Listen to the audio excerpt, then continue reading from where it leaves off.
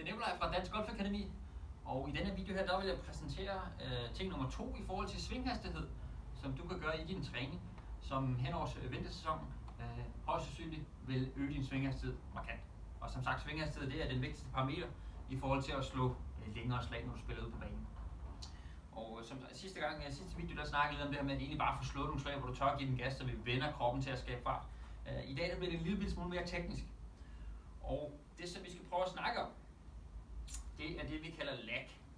Så hvis jeg lige prøver at demonstrere en gang her, så øh, når vi svinger op på toppen her, bum og på vej nedad, så det vi kalder lag, det er forholdet mellem, for den højre spiller, venstre armen og skaftet. Den her vinkel her. Ja. Og hvis du svinger nedad, og du gør sådan her, så vil vi definere det som, at der ikke er særlig meget lag i svingen. Det vil typisk være et sving, hvor der ikke er så meget fart på det her.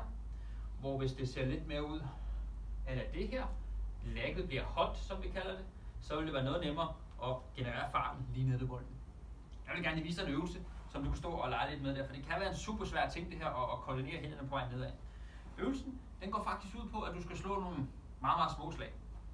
Og med de her små slag her, der vil jeg rigtig gerne have, at du i tilbagesvinget, der laver du slet ikke noget lag, som vi kalder det. Det vil sige, at du faktisk bare svinger tilbage, uden at knække hænderne.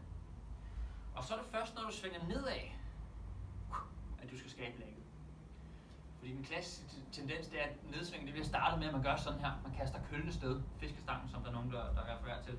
Øh, og hvis man laver den, så bliver farten ikke skabt hernede, så bliver den skabt heroppe i stedet for. Så hvis vi kan svinge tilbage uden knæk, knæk på vej nedad, så lærer vi kroppen, at farten og udløsningen af, af lærkehalsen skal først ske nede i bolden. Så det vil se lidt ud af det her lille bitte slag.